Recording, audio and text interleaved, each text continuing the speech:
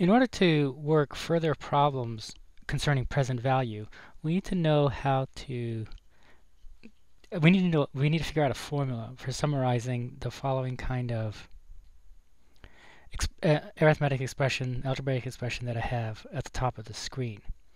S suppose we have a set of IOUs promising to pay you a dollar immediately, a dollar next year, a dollar a year from that, a dollar a year from that, dot dot dot all the way to a dollar n years from now, and then it stops. The present value of that stream of IOUs would be what I've written at the top of the screen. I call it S. S stands for sum. It'd be 1 plus 1 over 1 plus r, plus 1 over 1 plus r squared, plus 1 over 1 plus r cubed, plus 1 over 1 plus r to the fourth, plus dot dot dot 1 over 1 plus r to the n. If you're familiar with summation notation, it can be written as I've written it on the right, the sum as i goes from 0 to n of 1 over 1 plus r to the i. And this kind of expression occurs fairly often when you're working with when you're working problems with present value. So we need to know how to uh, how to handle it. Now it, it is if if n is known and r is known, then it is possible just to calculate all these terms by brute force and then add them all up. But there are quicker ways of doing it. And these other ways are also extremely useful if r and n are unknown variables instead of being constants. The way to simplify S is to use what mathematicians call a trick. That is something which is not it, it's not clear why it works, but it turns out to work. What you do is you multiply the left-hand side and the right-hand side of the equation by 1 over 1 plus r. Mm, from this point on, I'm going to be ignoring ignoring the summation expression over there because some of you might be unfamiliar with it. So the equation I'm talking about is the, the first equal to sign. So multiply both the left-hand side and the right-hand side by 1 over 1 plus r. So on the left we have 1 over 1 plus r times s. And on the right we have 1 over 1 plus r times each one of the terms.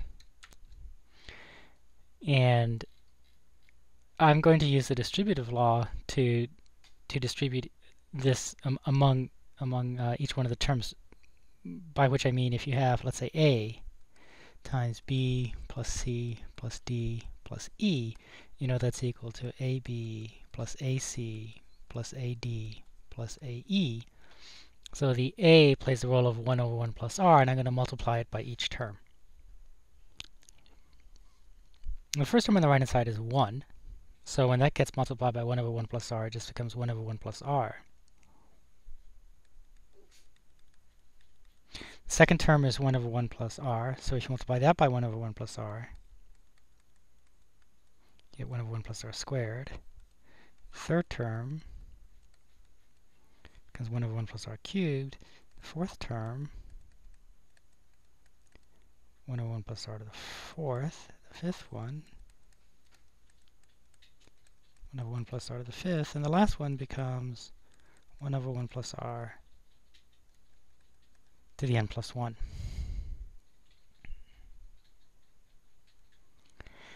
Let's we what I'm going to do now is actually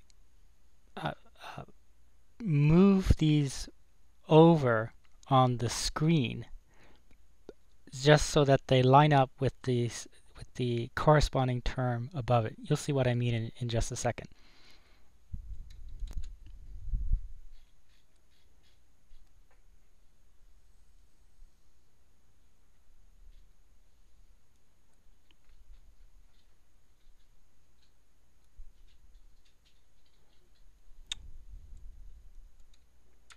So here I've literally moved each one of the terms over.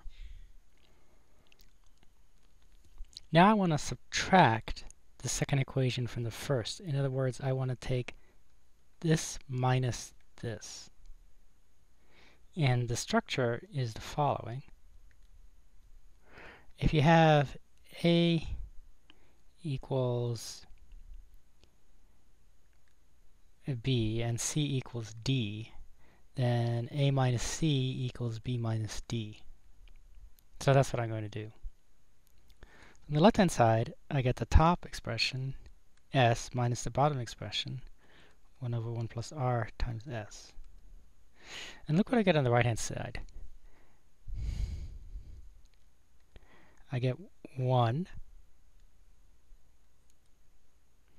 And then I have plus 1 over 1 plus r minus 1 over 1 plus r. Okay, the second one is minus because I'm subtracting the second equation. So those cancel.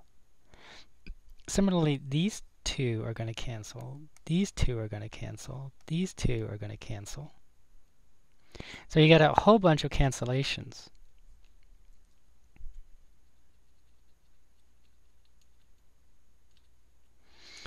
What you end up with is 1 and then minus 1 plus r to the n plus 1 because that doesn't have anything to cancel uh, it. But everything else gets, everything else has something to cancel.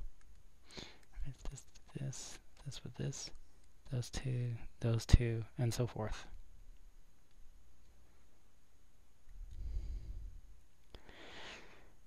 On the left-hand side, let's get a common denominator.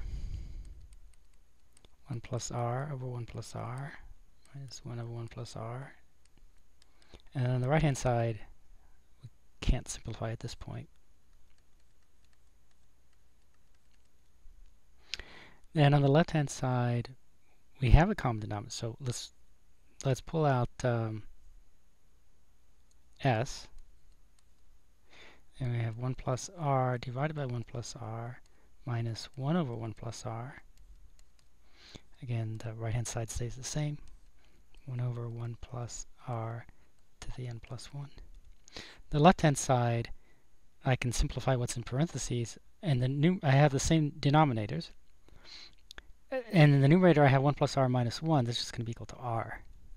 So I have s times r over 1 plus r equals to 1 over 1 plus r to the n plus 1. So solving for s, multiply both sides by 1 plus r over r.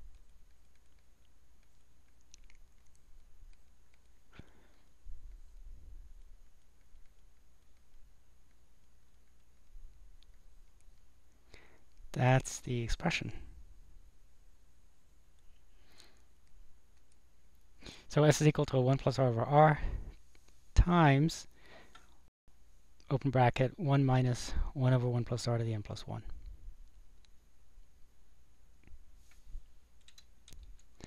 It's also interesting to consider what is the limit of s as n goes to infinity. This would be the present value of uh, an infinite stream of IOUs promising to pay you $1 every year. Now, as n goes to infinity, well, let's write it down. Limit as n goes to infinity, 1 plus, so this is s, 1 plus r over r, times 1 minus 1 over 1 plus r to the n plus 1. So as n goes to infinity, 1 plus r to the n plus 1 goes to infinity. And therefore this approaches 1 over infinity, which is 0. And therefore, in the limit, this term drops out, and all you got left inside the brackets is the number 1. And outside the brackets, you have 1 over 1 plus r. And if you multiply 1 times 1 over 1 plus r, you just get 1 over 1 plus r.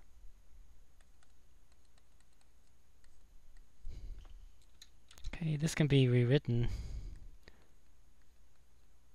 1 over r plus r over r. In other words, it can be written 1 plus 1 over r. So that's the present value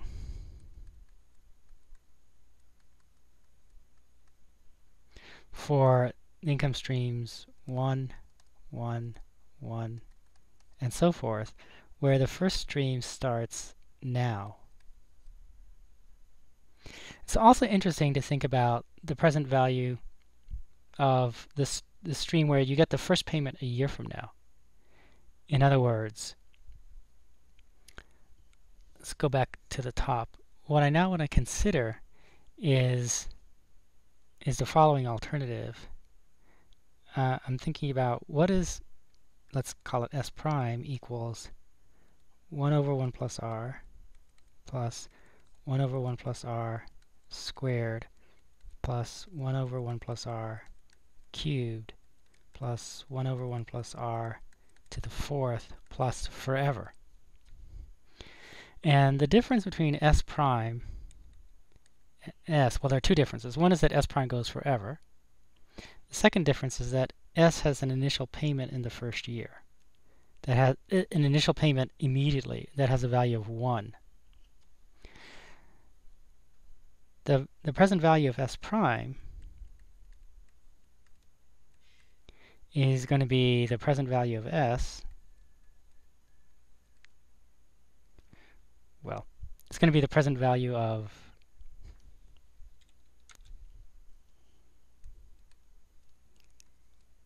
the limit of s as n goes to infinity minus 1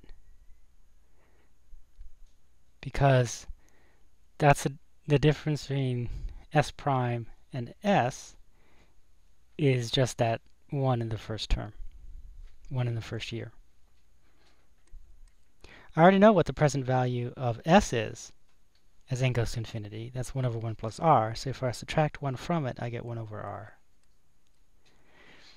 And this expression is actually really famous. It's called the value of a perpetuity.